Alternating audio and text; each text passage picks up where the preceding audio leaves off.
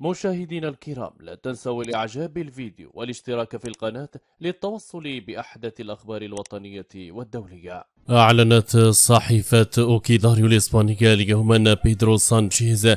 رئيس الحكومة الإسبانية سيزور المغرب خلال شهر نوفمبر المقبل وأنه قام بعزل أعضاء الحكومة الذين سيرافقونه في الزيارة عبر منع أعضاء حزب بوديموس من مرافقته إلى المغرب. ووفق الصحيفة الإسبانية فزيارة سانشيز تهدف الحضور إلى الاجتماع الرفيع المستوى مع الحكومة المغربية حيث أن اللقاء كان ضمن البنود التي تم الاتفاق عليها في آخر زيارة لسانشيز إلى المملكة المغربية شهر أبريل الماضي وإعلانه عبر رسالة على دعم إسبانيا للحكم الذاتي والمسار الأممي لقضية الصحراء المغربية.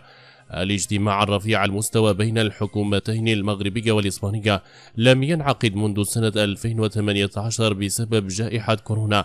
وأيضا الأزمة الدبلوماسية التي أعقبت دخول بن بطوش إلى إسبانيا بشكل سري بمساعدة من مسؤولين إسبان أبرزهم وزيرة الخارجية السابقة التي أطيح بها من الحكومة بعد الفضيحة.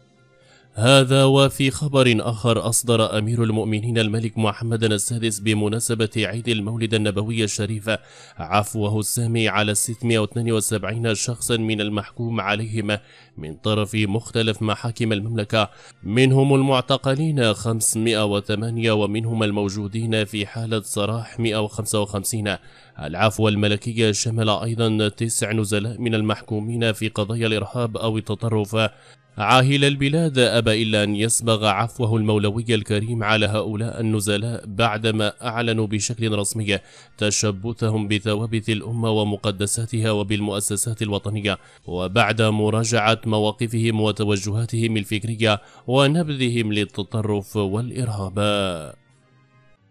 نشكركم على حسن المتابعة. إلى اللقاء.